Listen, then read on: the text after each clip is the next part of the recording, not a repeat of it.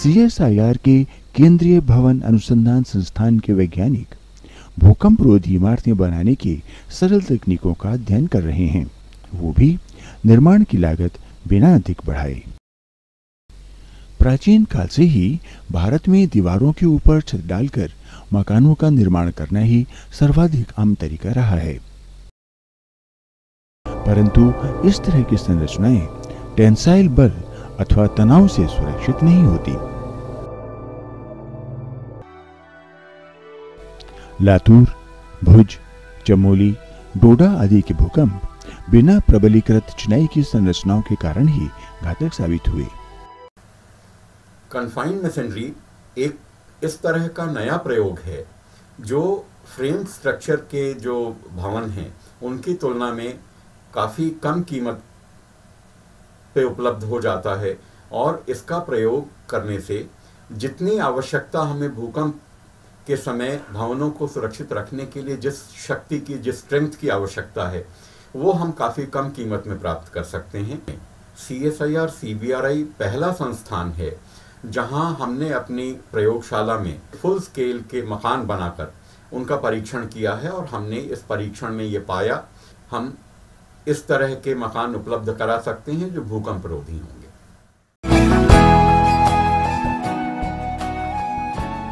पिछले कुछ दशकों के दौरान, मध्यम ऊंचाई के भवनों की दीवारों को प्रबलित सीमेंट कंक्रीट टाई कॉलम और बॉन्ड बीमों के द्वारा बांधने का एक बेहतर विकल्प विकसित हुआ।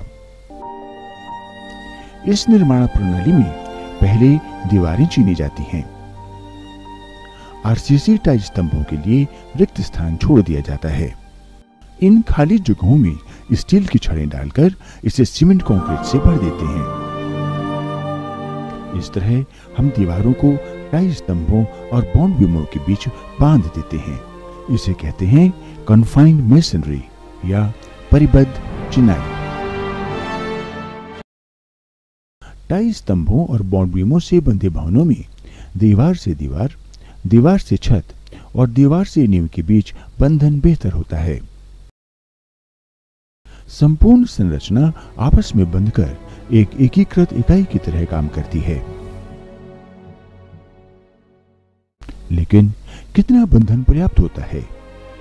इस प्रश्न का उत्तर सीएसआईआर केंद्रीय भवन अनुसंधान संस्थान के शोधकर्ता जानना चाहते थे। इसीलिए परिबद्ध चुनाई पद्धति की विस्तृत अध्ययन और बेहतर समझ हेतु उन्नत मॉडलिंग तकनीकों का प्रयोग किया गया। सैद्धांतिक गणनाएँ उत्साहजनक थीं। शोधकर्ता अब प्रयोगों से यह सत्यापित करना चाहते थे कि परिबद्ध चुनाई के प्रयोग से संरचनाओं की मजबूती और विरूपण क्षमता में कितनी वृद्धि होती है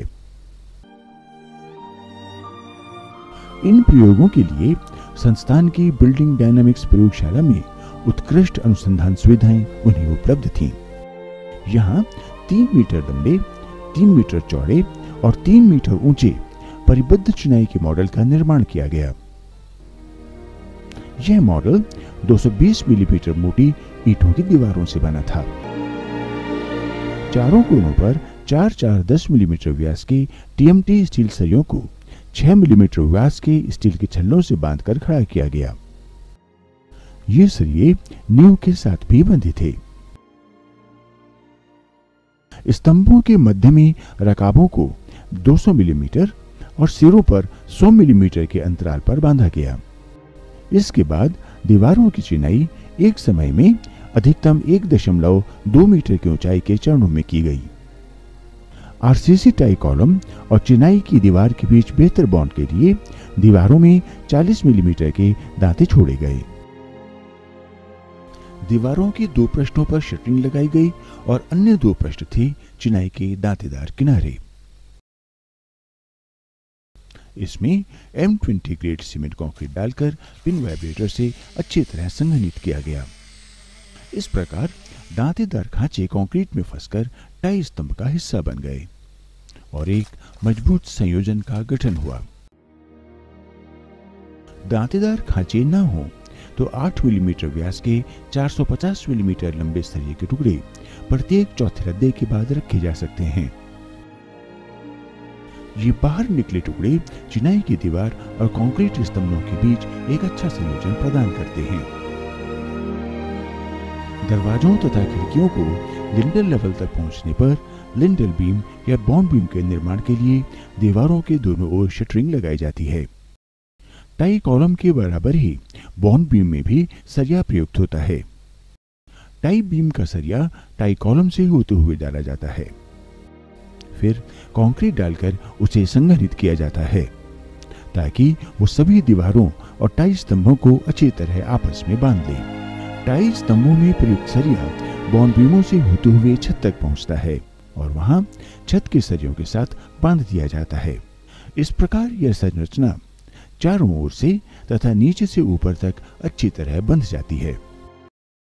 लगभग एक महीने के बाद जब प्रयोगात्मक मॉडल में पर्याप्त मजबूती आ गई, तब इसे डायनामिक लोड के अधीन टेस्ट किया गया। अब 150 मिलीमीटर स्ट्रोक लंबाई तथा 50 टन क्षमता के हाइड्रोलिक एक्चुएटर को चक्रीय पार्श्व बल लगाने के लिए प्रयुक्त किया गया। परिबद्ध चिनाई से बनी संरचनाएँ प्रबलित संरचनाओं से दोगुना और अप्रबलित चिनाई वाली संरचनाओं से तीन गुना बेहतर साबित हुई इससे संरचनाएँ 35 प्रतिशत तक अधिक डक्टाइल या लचीली भी हो गईं। निर्माण में सरलता, स्थानीय स्तर पर उपलब्ध निर्माण सामग्रियों का उपयोग और कम लागत के कारण ही परिबद्ध चिनाई प्रणाली दिनों दिन लोकप्रिय हो रही है कई कम और मध्यम ऊंचाई वाली इमारतें परिबद्ध चिनाई का उपयोग कर बनाई जा रही हैं।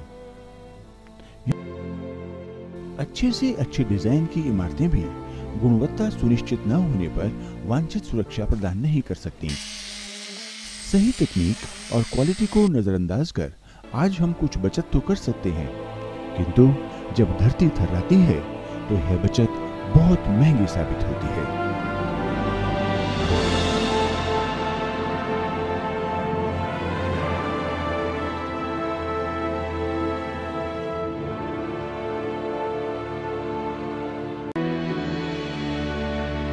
प्रस्तुति सी एस आई आर केंद्रीय भवन अनुसंधान संस्थान रुड़की का एक प्रयास है। सरल तथा सुग्राही तकनीकों को आप तक पहुँचाने का।